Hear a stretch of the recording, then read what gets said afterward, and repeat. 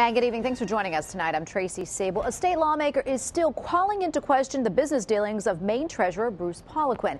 At issue, should Poliquin be in his current position because of a role that he may have with an outside business? It's a story News 8 first reported a couple of weeks ago. And tonight there is new information. Here's News 8's Norm Karkos with more. Norm? All right, Tracy. Well, Representative Mark Dion of Portland continues to question State Treasurer Bruce Poliquin's business dealings, which he says violate the Maine Constitution. Dion says he is still looking for answers from the state's Attorney General. Meanwhile, Poliquin is not responding to the controversy. This is a straightforward question. Has the treasurer violated his constitutional duties? Representative Mark Dion shared new information today that he says shows that State Treasurer Bruce Poliquin is involved in a real estate development company called Dirigo Holdings.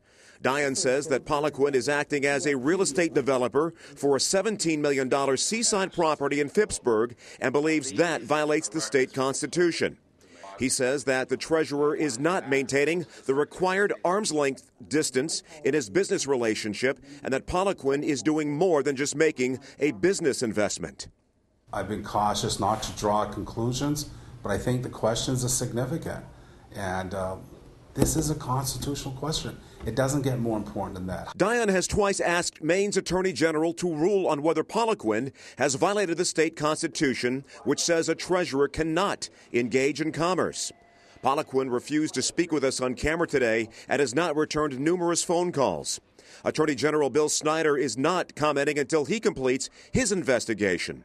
Several other prominent state Republicans and the governor's spokesperson also did not want to comment until Schneider completes his inquiry.